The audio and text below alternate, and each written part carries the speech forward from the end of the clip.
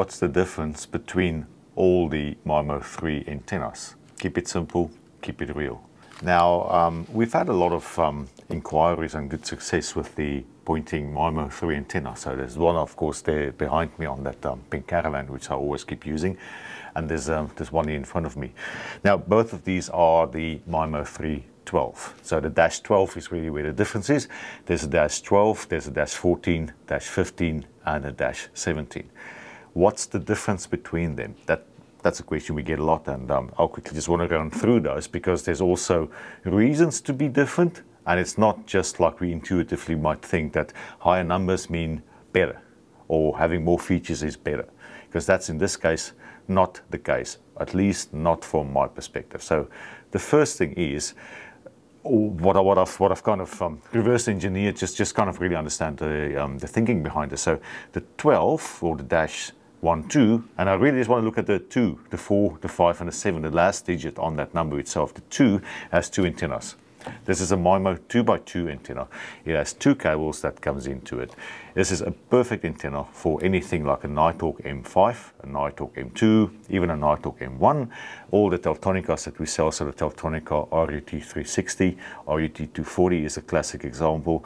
Also, if you want to go fancy onto the uh, high end like the RUT-X11 and so forth, they all work really well with this antenna if you want to get a 4G connection from the outside of your caravan, such as that one, routed through into your antenna. Now, where it gets confusing, and I'll ask, I'm saying this, but I don't want to create confusion. I just want to say, don't worry about this. So what I'm going to say is something that you don't have to worry about, which is obviously always dangerous to do. The dash 14, the four digits means it's a 4 by 4 MIMO antenna. So there's actually four elements in the same form factor. So there's four antennas in there. It is better if you need four antennas. So the upcoming 5G um, to be seen, yet to be seen routers, well, you have Cradlepoint and other devices that do have that, but some of the stuff is only 2 by 2 MIMO, and in that case, if you only have two, a need for two antennas, I would stick to two antennas. I'll explain a little bit later. So the 4x4 has four 4G slash 5G antennas ready in this, this, this kind of form factor. Um, I'm just going to say that first. The, the 15 has five antennas in the same form factor, and the 17 has seven antenna elements or radiators compacted into the same element.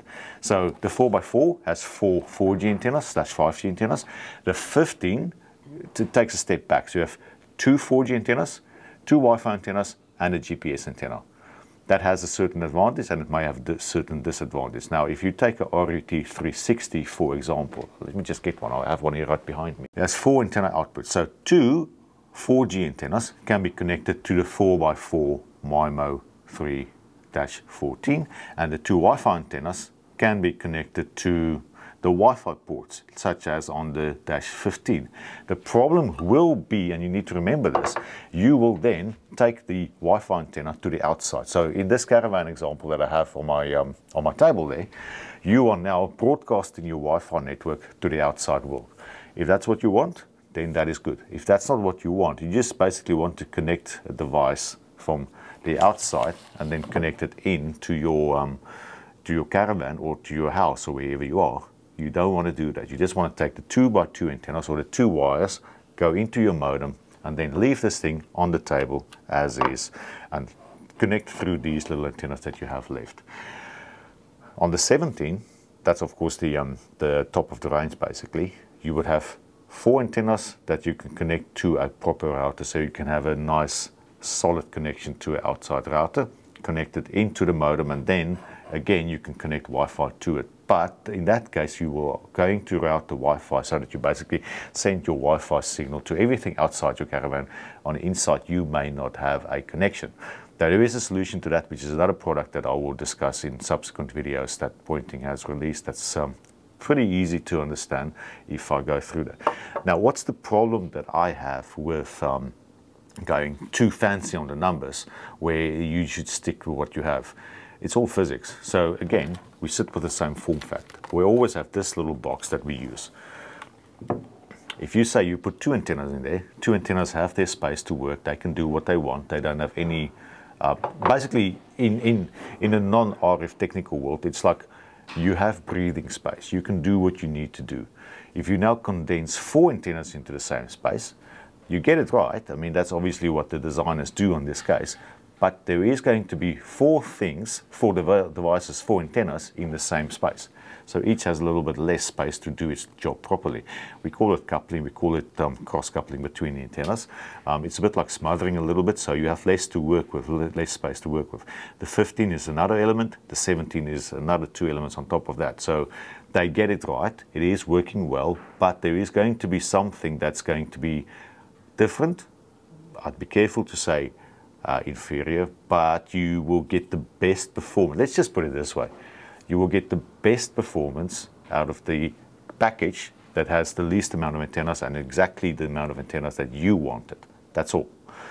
Um, that's really it. So if you need a 2x2, take a 2x2, like the MIMO 3 for 12. Don't go for anything higher just because you feel the urge to have more features. If you don't use those features, they're just going to complicate the two that's already there, that's always going to be in there. So rather, if you want two, take two. If you need four, then take four. Don't go for anything higher if you don't need it. Um, the other thing that I have noticed, and I thought about this, and then I come back to us as RF Shop, we do coaxial cables. This one, the um, this is the 2x2, the 12, has nice thick cable. It has the 195 cable type. It always comes from the same hole. It always feeds through the same spigot, screw mount and everything. If you condense the 12 and say now we need to squash in four, or we need to squash in five cables, or we need to squash in seven cables coming through the same hole, the only way to do that is to make the cable thinner.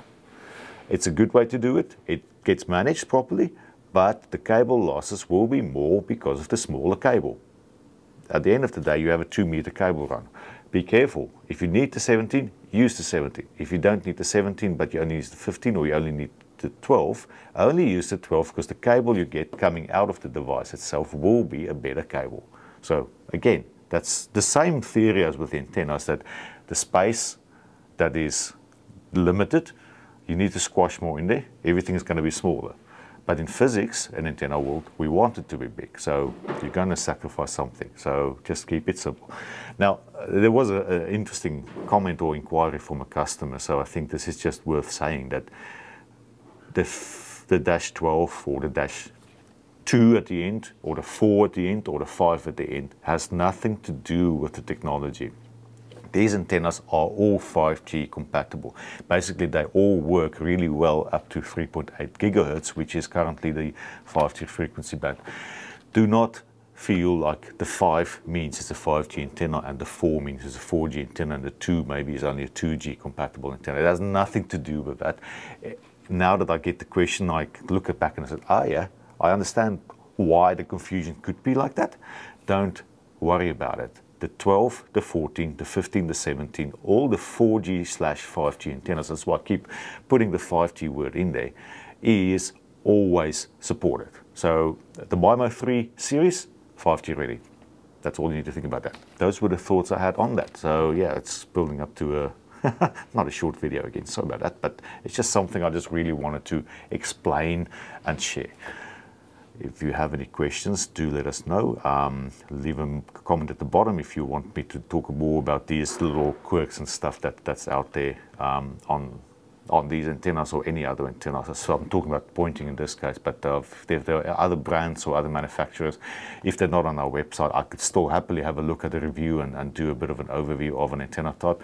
This is not necessarily always going to talk about selling the antenna. It's always going to it's explaining the concept and the advantages and reasons why you want to go for certain things in certain cases. Um, other than that, have a look for the upcoming video, which will be on that um, indoor Wi-Fi repeater as well for caravan setup, so that you can basically get a case where you can Wi-Fi outside and inside. Thanks for watching. Talk to you later. Bye bye.